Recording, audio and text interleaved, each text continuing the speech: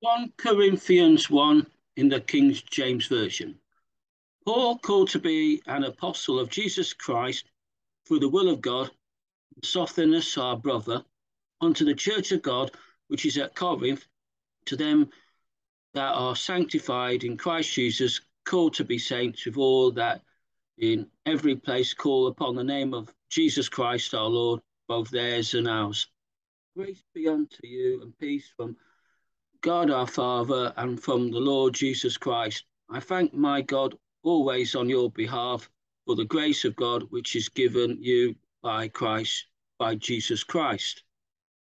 That in everything you are enriched by him, in all utterance and in all knowledge, even as the testimony of Christ was confirmed in you, so that you come behind in no gift, waiting for the coming of our Lord Jesus Christ who shall also confirm you unto the end, that you may be blameless in the day of our Lord Jesus Christ.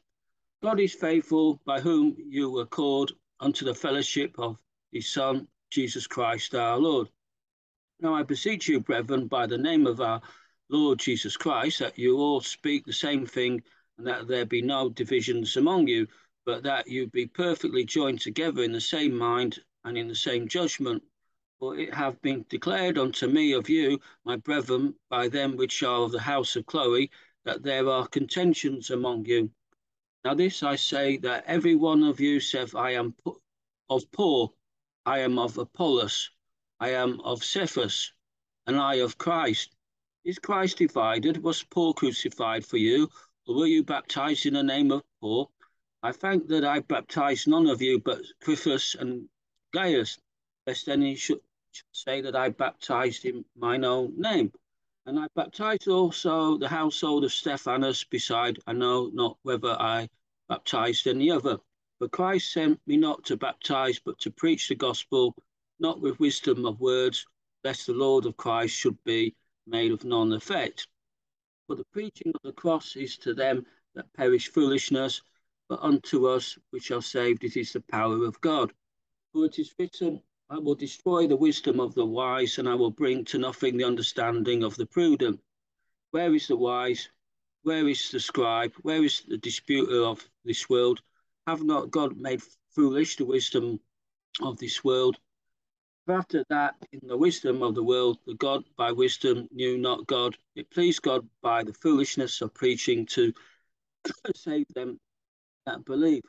For the Jews require a sign, and the Greeks uh, seek after wisdom, but we preach Christ crucified unto the Jews a stumbling block, and unto Greeks unto Greeks foolishness. But unto them which are called both Jews and Greeks, Christ the power of God and the wisdom of God. Because the foolishness of God is wiser than men, and the weakness of God is stronger than men. For you, seeing your calling, brethren, how that not many wise men after the flesh, not many mighty, not many noble are called. But God hath chosen the foolish things of the world to confound the wise, and God hath chosen the weak things of the world to confound the things which are mighty. And base things of the world and things which are despised have God chosen, yea, and things which are not to bring to naught things that are, that no flesh should glory in his presence, but of him are ye in Christ Jesus, who of God is made unto us wisdom and righteousness and sanctification and redemption, that according as it is written, He that glorieth, let him glory in the Lord.